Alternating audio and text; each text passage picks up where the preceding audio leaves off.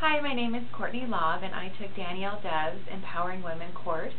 And I felt through the course I received great knowledge of releasing my fears and blocks that I was having with my business and being willing to accept uh, new clients and taking money.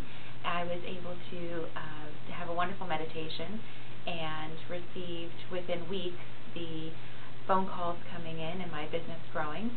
I was um, thinking I was going to be patient and wait and see it within months, but it was very, very quick. And I have been very blessed and continuously receiving more and more calls and working on releasing more and more fears.